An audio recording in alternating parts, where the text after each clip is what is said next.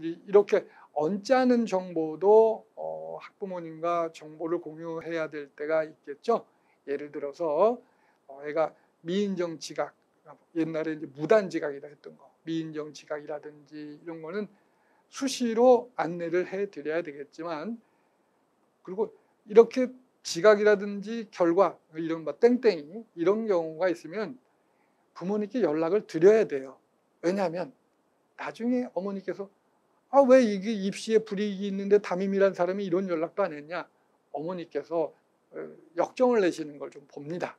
그래서 그러면 어, 딜레마잖아요. 연락을 드리자니 학부모 기분 상하게 할 수도 있고 또 안 드리자니 나중에라도 학부모에게 민원이 될 수도 있다. 그래서 그걸 살짝 넘어가는 팁을 알려드리면 이 아이의 안전이 걱정되어 연락드리는 겁니다라고 이렇게 양해를 구하시는 겁니다. 그러니까 아이가 지각이나 결석을 해서 뭐 애가 무단으로 이제 학교를 나가는 수도 있거든요. 가끔 이제 그럴 때 어, 애가 땡땡이 쳤어요. 이렇게 말씀드리는 것보다는 아이의 안전이 걱정이 됩니다라고 말씀하시면 부모님도 뭐 어, 선생님 속마음이야. 어, 땡땡 치고 뭐 그렇겠지만 그 마음 꼭 누르시고 이렇게 말씀하시는 게 아주 중요한 깨알팁, 예, 꿀팁 되겠습니다.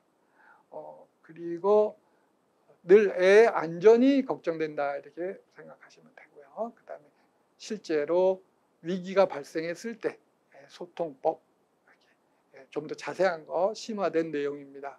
그래서 선생님들께서 주로 이제 제가 직접 어, 문자라든지 카톡이라든지 이런 것을 통해서 했던 내용을 그대로 익명 처리해가지고 그대로 거기다 올려놨어요.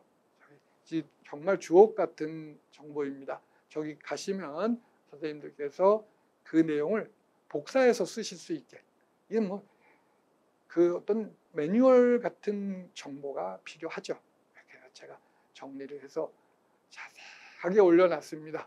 이거 보시면 복사해서 바로 쓰실 수 있게끔 올려놨으니까 아, 위기 상황 시에 네, 활용하세요. 네, 끝으로